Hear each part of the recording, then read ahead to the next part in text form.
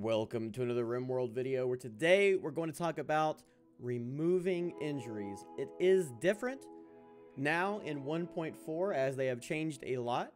Previous editions 1.3 and before you would use the dev mode command remove hediff. However now they've got it set up to where you can do it in God mode and just click an X. In my opinion it's very very convenient and I do like the system more. If you know how to get into God mode, it's fairly simple. All you got to do is go to the bottom right-hand corner, go to Options, turn on your Development Mode. Then you turn on God Mode, the little face right here, turn on God Mode. You click the pawn you'd like to remove a disease or an injury, whatever the case may be. Go to their health bar and click the X button. There you go. You have now removed whatever injury, disease, or affliction that pawn has.